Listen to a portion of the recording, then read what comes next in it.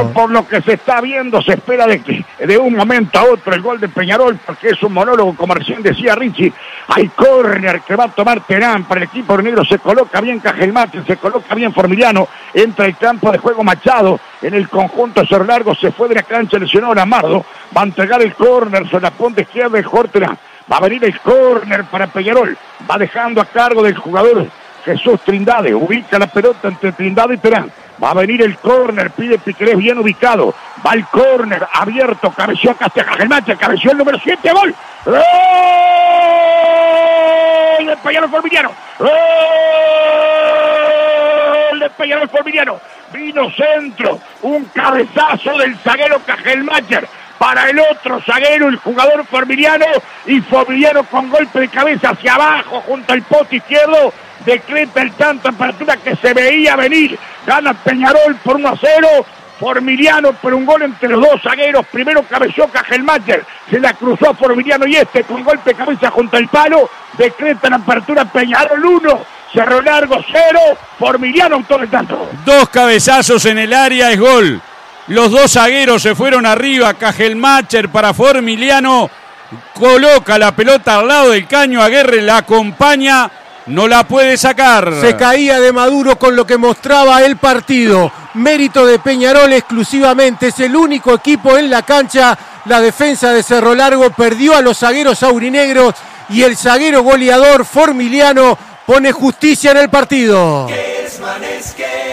La voy a estar con Castillo, levanta la pelota Bajal, elevó para Álvarez Martínez, coloca para Terán, la va llevando Terán, se la pide por la punta izquierda Torres, vino para Torres, pide la pelota también por la izquierda Piquerés, va para él, tiro centro, ¡Gol! ¡Gol! ¡Gol! Terán! ¡Gol! De Peñarol Terán, ¡Gol! De Peñarol Terán, vino la pelota por la izquierda, se la dieron a Piquerés, tiro bajo, remate y entró Terán como bólido y allí decreta Terán, goleador de Peñarol, el segundo tanto Carbonero. Al comenzar el segundo tiempo del partido, los cinco minutos, Terán decreta Peñarol 2, Cerro Largo 0, Terán, autor del segundo gol. Apretó el acelerador Peñarol en el arranque del segundo tiempo, llegó Piquerés hasta el fondo, lo más viejo del fútbol, el goleador aurinegro Terán, que le dedica al Cebolla y a Stoyanov el gol pone a Peñarol 2 a 0. Recuperó la memoria Peñarol por izquierda, recuperó la memoria Facundo Torres y Piquerés,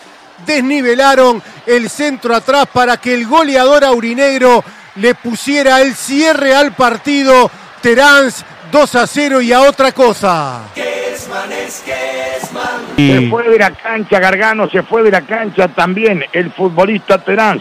Entra Gonzalo Freitas en el conjunto de Peñarol. Ubica la pelota el equipo de Cerro Largo para el córner. Viene el córner, alto y abierto, un cabezazo tirado por el Jorge Cayetano. Le dio la pelota a Beltrán, otro centro, saca Máximo Pereira, viene a tomar la pelota por la punta izquierda tirando Bae. Rebotó penal, penal, penal cometido por Cajelmacher.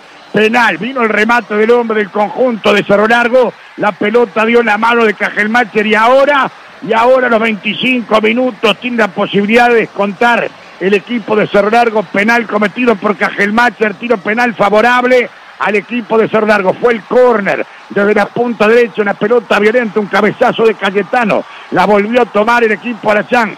Vino el centro, hay una pelota que va a venir desde la punta izquierda, le pega, tenía arrollado el brazo Cajelmacher, ¿eh? acá estoy viendo la repetición, a ver, tiene arrollado el brazo, para mí no fue penal, ¿eh? Eh, eh, pone, pone los brazos como si fuera un tatú, ¿se acuerda? Y me, eh, parece que no ocupa fuera del radio del cuerpo, no sé lo que opina usted, Sí, le pegan el brazo, ¿no? Está recogido el brazo, pero le pega allí. A ver quién es el que va a tirar, por favor. A ver, hay tiro penal favorable al conjunto Cerro Largo. Vamos a ver quién se va a colocar la ¿Quién es? Estol, Alberto. ¿Quién? Estol, Estol. Estol. Va a rematar Estol. Penal favorable a Cerro Largo pierna derecha de Stoll. Allí se coloca la pelota, va a tirar, entró, tiró, gol, gol, gol, gol de Cerro Largo, Stoll de tiro penal, colgó la pelota del ángulo superior izquierdo y descuenta Stoll. Cuando transcurren 26 minutos de juego del segundo tiempo, se pone 2 a 1 el partido. Gana Peñarol por 2 a 1, descuenta Stoll de tiro penal. El recién ingresado tomó la pelota para rematar La puso a la izquierda de Dabson, descuenta Cerro Largo, 1-2. En los penales también hay golazos. Primera pelota que toca Stoll, casi la cuelga del ángulo. Cerro Largo intenta meterse en el partido. Pelota que saca Cajelmache desesperado. Peñarol sacando pelotas a donde vengan. Corre para tomar Franco Martínez. Perdió la pelota Franco Martínez. Cruza el remate por la izquierda. Ahora García. Toca la pelota para Beltrán. Se va Beltrán. Falta menos de un minuto. Tiró al arco. Cabezazo y gol. ¡Gol de Cerro Largo Borges! ¡Gol de Cerro Largo Borges! Cabecía la pelota junto al paro y yo les dije, señores, que Peñarol estaba jugando muy mal, por no decirle un desastre. Realmente en el segundo tiempo le salió a jugar el partido Cerro Largo y logra empatar de atrás. Después de ganando 2 a 0, le empata el partido Cerro Largo, están 2 a 2, empató Borges para Cerro Largo. Y es justicia con el trámite del partido. Cerro Largo se vino arriba. Peñarol cuando le descuentan de penal le pasó lo mismo. Se cae el equipo aurinegro. Empata Borges. 2 a 2. Premio para el cambio de actitud de Cerro Largo. 20 minutos donde merecía empatar y si me apuran, lo merecía hasta ganar. Horror de Peñarol, la parte final del partido y lo cobra caro el conjunto aurinegro. Kesman es Kesman,